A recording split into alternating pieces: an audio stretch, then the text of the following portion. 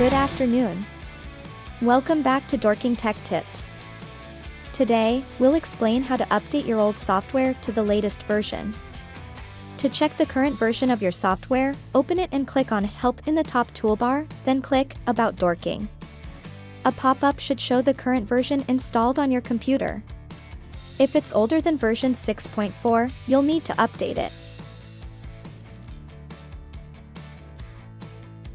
Before upgrading, it's important to make a backup of your software. To do this, click on File and then Backup.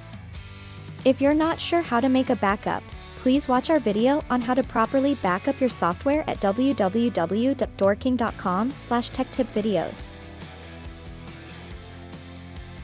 Once your software has been backed up, you'll need admin rights on your computer to proceed. Close the software and head over to Add and Remove Programs in Windows. Scroll down to find the DoorKing Account Manager program, select it, and click Uninstall to remove it from your computer. To install the new software, go to doorking.com slash remote account manager to download the latest version. If you need help with the installation process, please check out our complete installation video online.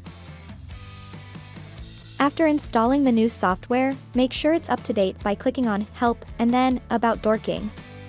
The pop-up should now show version 6.5a. If your data didn't automatically transfer, please see our video on how to restore from your backup. That's it. You're all set with the latest and greatest version of DoorKing software. Thanks for watching and we'll see you next time for more DoorKing tech tips.